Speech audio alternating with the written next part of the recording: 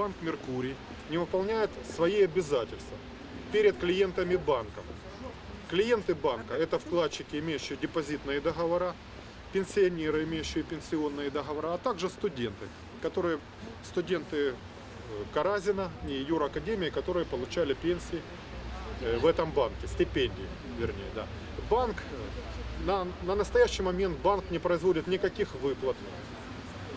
То есть они обещают, обещают выплаты, сказ банка нет никаких. Поэтому люди собрались возле управления Национального банка Украины в Харьковской области для того, чтобы председатель, то есть начальник управления, а также руководство услышало и увидела, что есть проблемы в банке «Меркурий».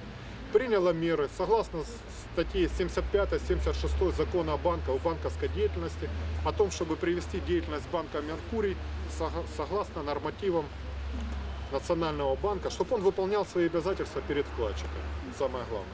Собрались здесь, чтобы на вкладчиков обратили внимание.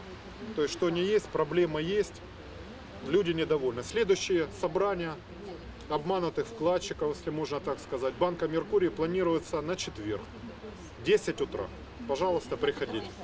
На Петровского, главный офис, 23. Скажите, с Национального банка кто, кто-то К сожалению, из Национального банка руководство проигнорировали этот митинг. Никто не вышел, не дал разъяснения, не объяснил ситуацию. Также руководство банка «Меркурий» никак не комментирует ситуацию, не дает никаких разъяснений.